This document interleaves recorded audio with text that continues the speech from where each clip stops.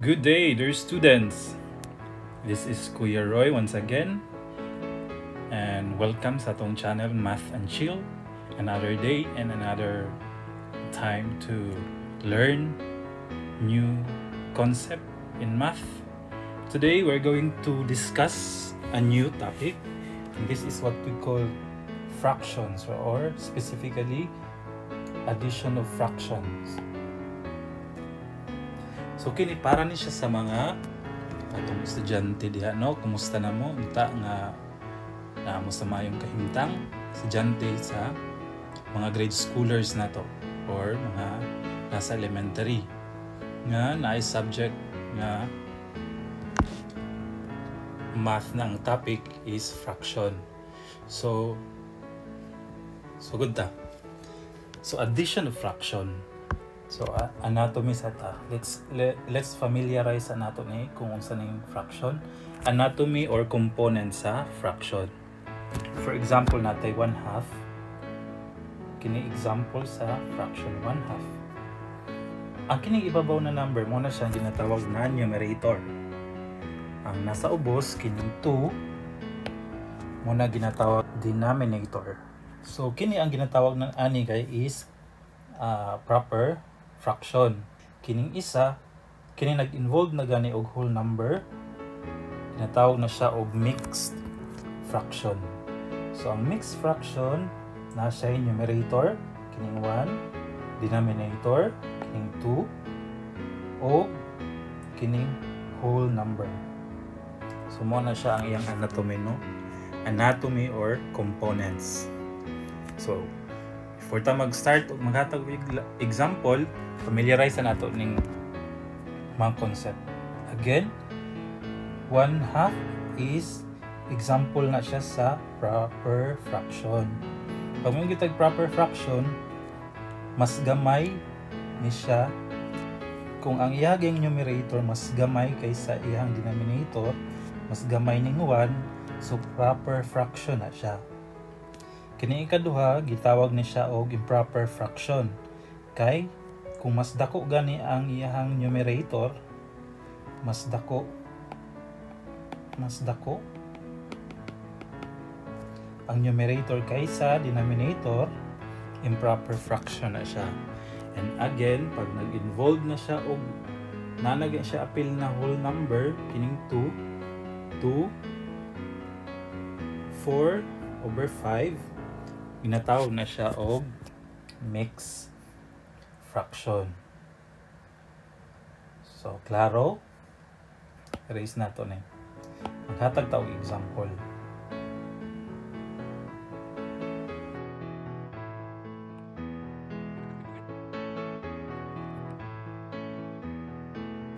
So, how to add? Ang saan pag-add og fraction? So, example natay example. Natay example number 1 1 half plus 1 half. Sa so, pag-add kini gitawag ni siya og similar terms. Similar kay pareho ang iyahang denominator. Pag pareho gana siya similar na siya similar fraction ang tawagan na So, ang pag-ada ni, pag-add basta pareho gani ang iyang denominator, pareho sila 2, di ba? Ang pag-add ani is i-add lang nato ang iyang numerator. So, 1 plus 1 equals 2. Then, copy lang ang denominator na 2. So, 1 half plus 1 half equals 2 over 2 or is equal to 1. Mo na siya. Now, example number 2. What if lahi ang iyang denominator? Example 1 half plus 1 half. Ay, say, sorry. Say, one fourth. Saon man na.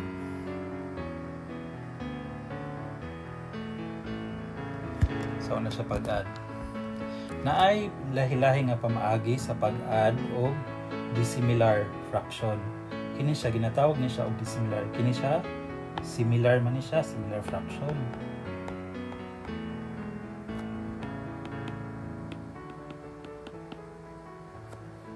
Similar fraction kay pareho ang iyahang denominator 2. Paglahi gani ang denominator, sa ni 2 ug 4, dili sila pareho ang tawag na sa ilaha is dissimilar fraction.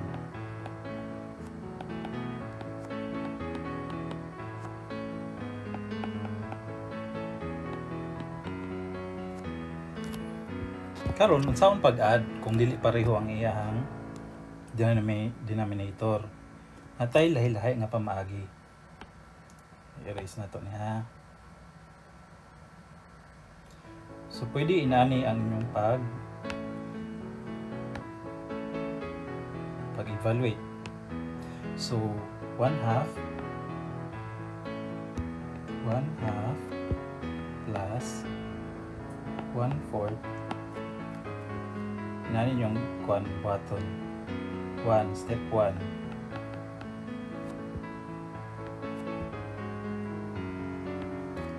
multiply the denominator.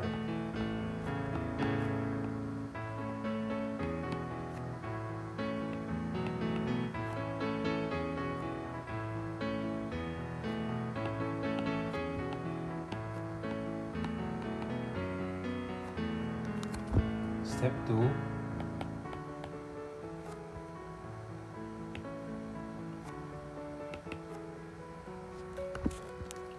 cross multiply.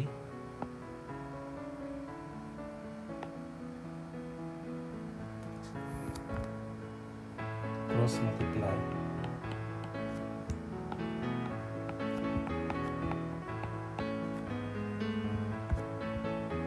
And copy the sign.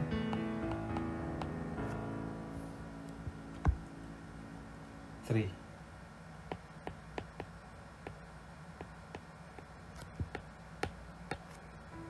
evaluate.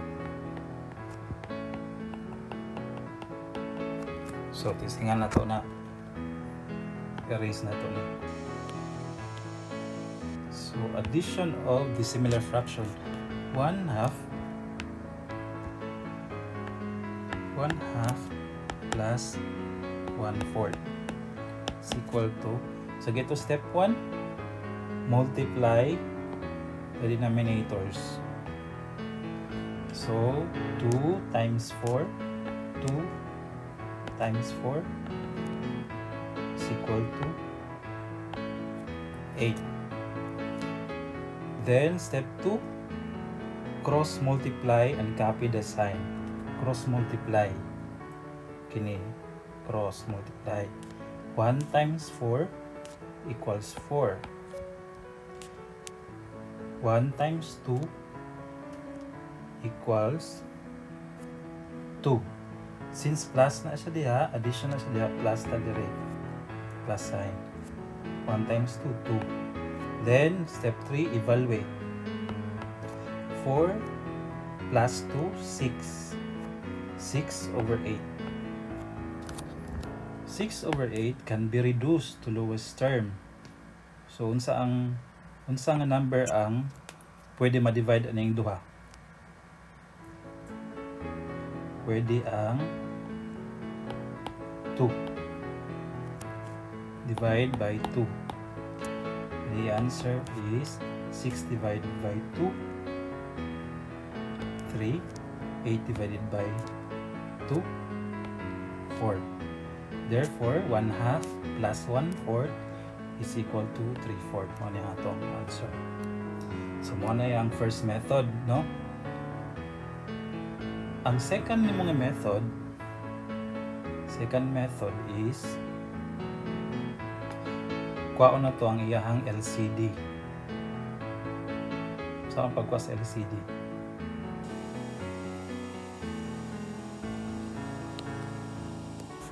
So, balik ta dito sa dissimilar fraction. 1 half plus 1 fourth.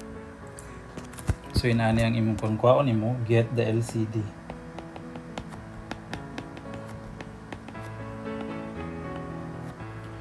LCD or least common denominator.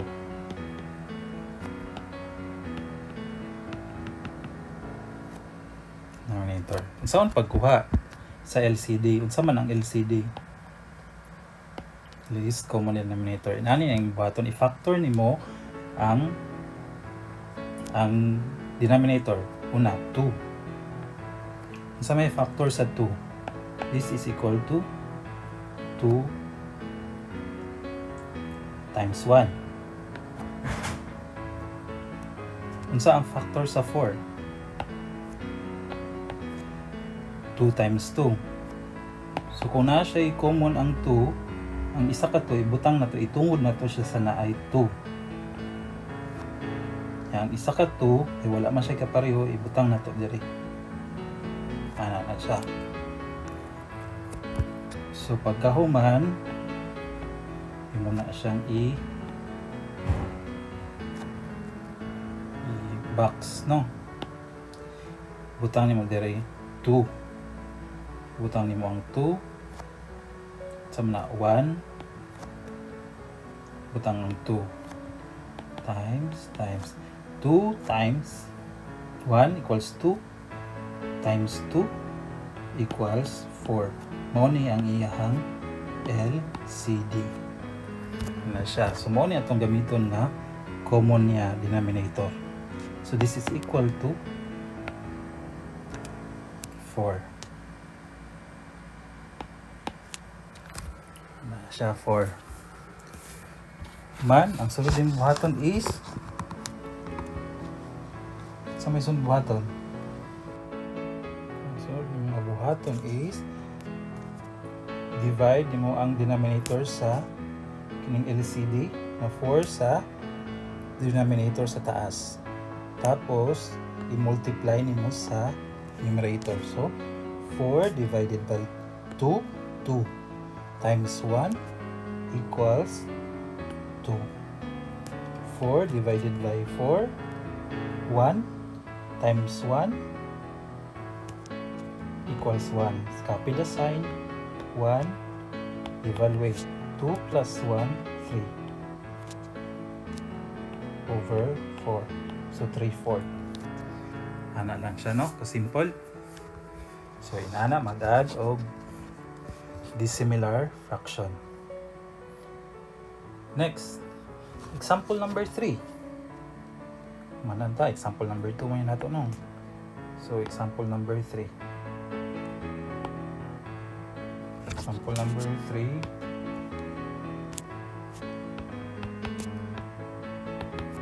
Adding mixed fractions. For example, 3 and 1 half plus 2 and 1 half. Ang una na itong nailahilahi nga proseso or pamaagi para ma-solve nato na siya. Ang una na itong buhaton is first way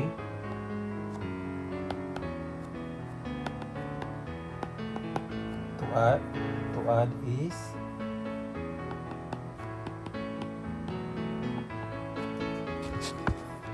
isolate.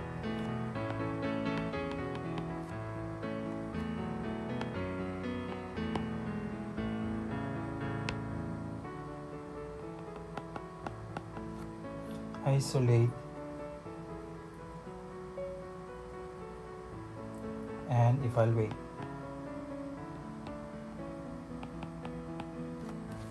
Saan mo na? Ang sa may isolate and evaluate. Ang atong buhaton is kung 3 and 1 half plus 2 and 1 half. Ang una na itong buhaton is i-isolate na to ang kini. I-add na ito na. 3 plus 2 3 plus 2 equals 5 itang sa nato di ang 5 ha human kini na lang 1 half ang atong evaluate na sad so 1 half plus 1 half. Since pareho ang iyang denominator kapihon lang nato siya. Basta pareho. I-add lang nato ang iyang numerator. 1 plus 1 equals 2 2 over 2 2 divided by 2 is equal to 1 so 1 man ang 1 and 1 half tapos i-add nato siya i-evaluate nato naman tayo 5 kaganina 5 plus 1 equals 6. Ano yung atong answer. So, inana siya pag mag-add ta og uh, mixed fraction 3 and 1 half plus 2 and 1 half using the first method which is isolate. Mali ang spelling sa isolate.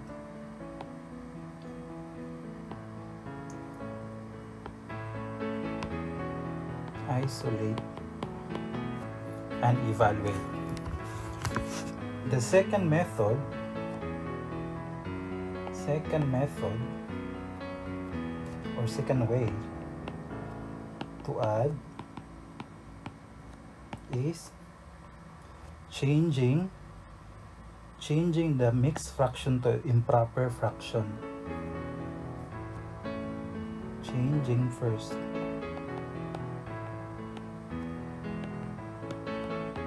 mix fraction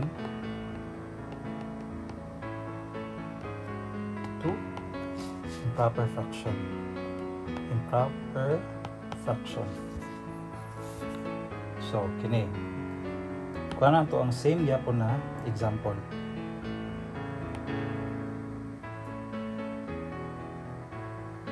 So una daw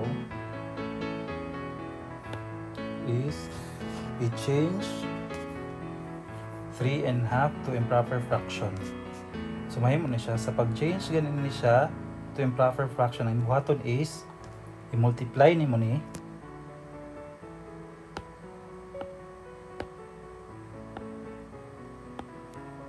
pag-change sa mixed fraction to improper fraction is i-multiply nimo ang denominator sa whole number.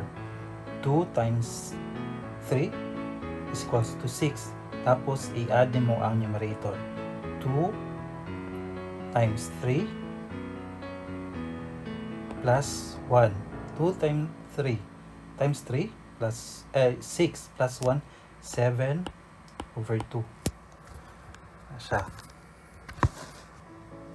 Copy the sign. Next, same gihapon ng buhaton.